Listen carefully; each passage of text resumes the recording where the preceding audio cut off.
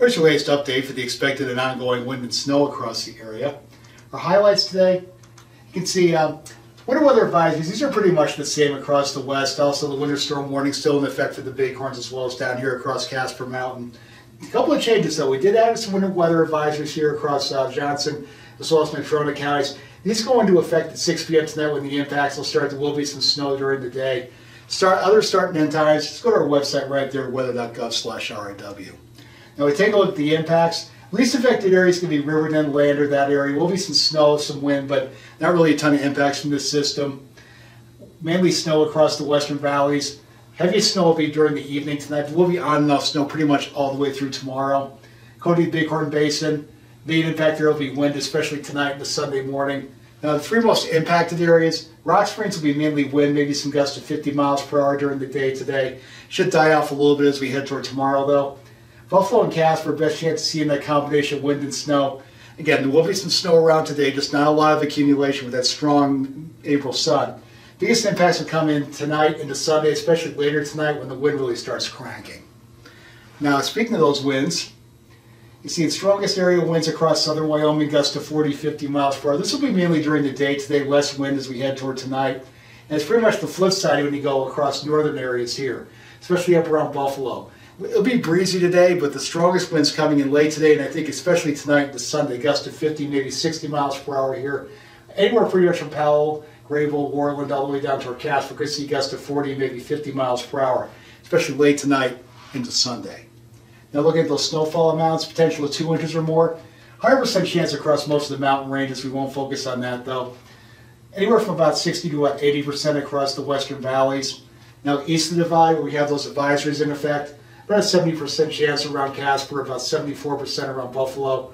Better chances you head to west of Buffalo to the higher elevations there, also south of uh, downtown Casper, especially south of Wyoming Boulevard about a 3 in 10 chance around the Thermopolis. Most other areas not seeing a chance of a lot of accumulating snow, though. We bumped this up to 6 inches. Really tapers off across the area. Two areas that really draw your attention, Casper, about a 1 in 3 chance there. About a 1 in 4 chance around Buffalo again. Very chance when you go toward the higher elevations, lower elevations, less of a chance. Now the range of possibilities here, at least this much snow I think across the area. Things stay a little bit warmer. Maybe just a coating to an inch across many of the lower elevations, but See where the biggest numbers are there? You can see bighorns right here, there, there. That's at least 12 to 18 inches between now. Time this comes to an end on Sunday evening. At least 6 to 12 inches across Casper Mountain. Now, like the maximum amount, we have that same problem we had yesterday. Still a lot of uncertainties depending on where the snow band's set up. One or two degrees makes a big difference. Again, I'll go back and forth here. Casper, max to 8. Maybe just a coating to an inch. Buffalo, an inch maybe up to seven inches depending on how things set up. So maybe a maximum of four to eight inches across eastern Wyoming. That's where the biggest amounts are going to be. Coating to maybe one or two inches across the um, River Basin, Lander foothills. Maybe an inch across portions of uh, Sweetwater County, one to two inches across much of the uh, Green River Basin, maybe four to six inches across the western valleys. But look at where those bullseyes are. Right here in Casper Map, look at that color. Does that correspond to?